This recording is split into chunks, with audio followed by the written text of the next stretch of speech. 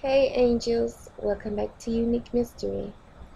So angels, so far Hurricane Irma has taken 13 lives. And that's just too much. Too much already. So let's just hope and pray that Hurricane Irma goes away along with the other storms that's following.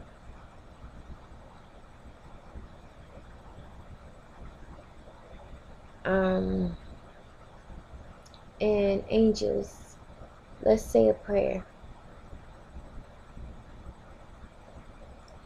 Dear God, we thank you for everything that you have done for us, everything that you have blessed us with.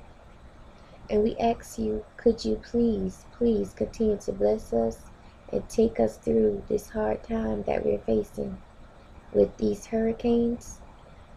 Please protect us and keep us safe during Hurricane Irma and the rest of the hurricanes that follow. Please protect us, our families, all of our loved ones, and everybody else out there who's facing Hurricane Irma and the rest. And we thank you for everything you have blessed us with. And just continue to take care of us. In Jesus' name we pray. Amen. So, angels, thanks so much for praying with me. And let's just keep the prayers going. And I will see you guys in my next video. Bye.